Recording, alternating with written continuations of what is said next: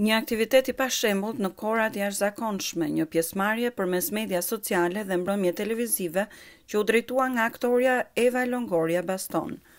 Një nga temat ishin tensionet racore që kanë përçarë vendin, për të cilat foli mes të tjerëve edhe kryebashkiakja e kryeqytetit Uashington.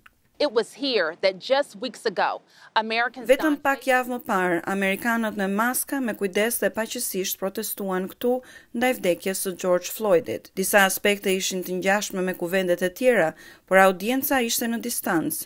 Shumë nga fjalimet, përfshirë nga ish-zonja e parë Michelle Obama, ishin të regjistruara. I know Joe. He Unë e njoh Xhon. Ai është një njeri i jashtëzakonshëm që udhëhiqet nga besimi. Ishte një nënpresident i mrekullueshëm. Ai di se si të shpëtojë ekonominë, të luftojë një pandemi dhe të udhëheqë vendin tonë.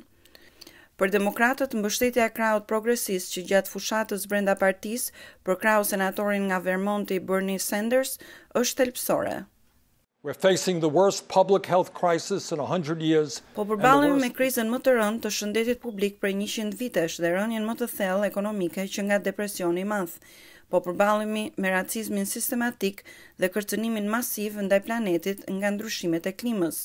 Dhe mes gjithë këtyre sfidave, kemi një president që jo vetëm është i paaftë t'u bëjë ballë këtyre krizave, por po na çon në rrugën e autoritarizmit.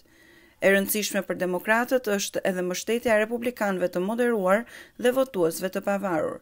Ish-guvernatori i Ohajos John Kasich përkrah zotin Biden. Unë kam qenë gjithmonë republikan, por përkatësia partiake vjen pas përgjegjësisë ndaj vendit, prandaj vendosa të flas në këtë Kuvend.